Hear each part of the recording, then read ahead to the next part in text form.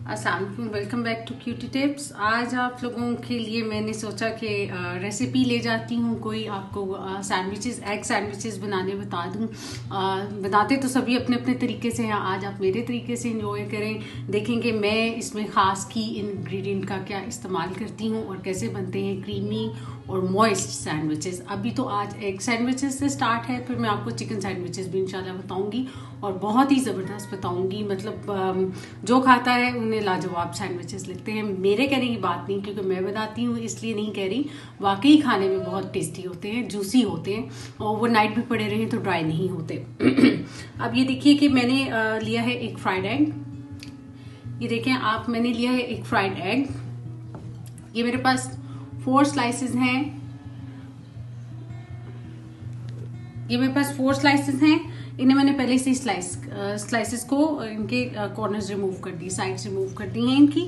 और आपने sharp knife से करने हैं ताकि कोई भी ब्राउन एंड्स नज़र ना आए, क्योंकि नीट नहीं लगते सैंडविचेस और एक ही गो में आपने चारों को रख के एक से स्लाइस करना है ताकि इनके साइज़ में कोई फ़र्क ना आए।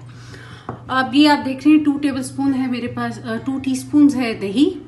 और प्लेन योगर्ट यूज़ कर सकते हैं, आप चाहे तो क्रीम बाज़ार वाला यूज़ कर सकते हैं, घर वाला यूज़ करना चाहे घर वाले यूज़ कर सकते हैं। ये मेरे पास पिंच ऑफ़ सॉल्ट और ये हाफ़ टी स्पून मेरे पास है ब्लैक पेपर क्योंकि मुझे जरा तेज अच्छा लगता है, खाने में तीखा पसंद है तो मैं मिर्च का इस्तेमाल ज़्यादा रखूँगी। और ये आप देखें मेरे पास है around two tablespoon mayonnaise अब इसका करना क्या है आपने कि आप सिंपली करेंगे इस अंडे को मैश एग को अच्छे से मैश करेंगे। इस एक एग से आपके चार सैंडविचेस बहुत ही ज़बरदस्त तैयार होते हैं। ये आपके बच्चों के लंच बॉक्सेस में या टी पार्टीज़ में बहुत अच्छे लगते हैं। अगर टी टाइम हो, किसी का टी ब्रेक की हुई है घर पे, कुछ भी नहीं है इंस्टेंटली बनने वाले सैंडविचेस हैं अगर आपको ये पसंद आए तो मुझे ज़रूर कमेंट करके बताइएगा। मुझे आपके कमेंट्स का हमेशा से रहता है इंतज़ार। और आपकी कोई सजेशंस हों तो you are more than welcome to tell me कि आपको क्या चीज़ चाहिए क्या नहीं चाहिए। Uh, हमेशा मैं कोशिश करूँगी कि आपकी सजेशंस पे पूरा उठूँ। तो ऐसा है कि ये हो गया मैश इसके अंदर मैं डालूँगी अब ये टू टी दही। मेक श्योर करें कि अंडा आपका ठंडा हो। गरम अंडे में नहीं डालेंगे, क्योंकि मेनीज मेल्ट होती है, दही भी अपना जायका ख़राब कर देता है। तो ये देखिए, मैंने डाल दिया इसमें टू टेबल स्पून मेनीज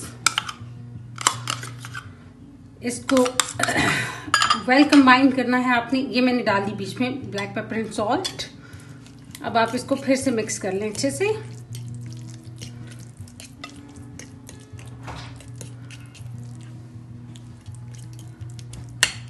आपने इसको मिक्स कर लिया।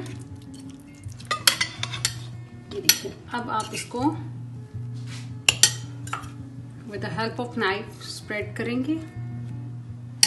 अराउंड ईच सैंडविच में आप टू टेबल स्पून के करीब लगाएँगे मटेरियल आपका मटेरियल एंड्स तक जाना बहुत ज़रूरी है।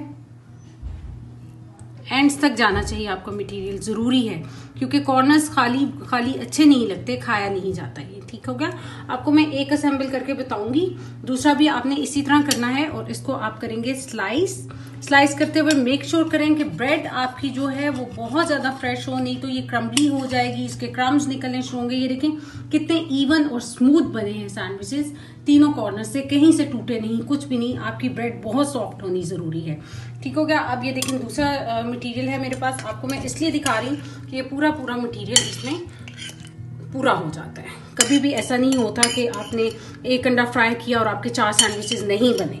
आपके ज़रूर बनते हैं। दही डालने से ये होता है कि ज़रा थोड़े और क्रीमी और मॉइस्चर लेवल जो है सैंडविचेस का अच्छा हो जाता है, ये क्रीमी हो जाते हैं। मैं आपके लिए इनशाला लेकर आऊँगी चिकन की चिकन सैंडविचेस की रेसिपी तो अगर आपको ये वीडियो आए पसंद तो इसको लाइक करना मत भूलिएगा सब्सक्राइब कीजिएगा और बेल आइकन प्रेस कीजिएगा। Thank you so much